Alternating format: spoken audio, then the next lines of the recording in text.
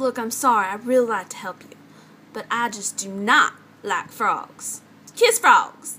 Kiss? Like?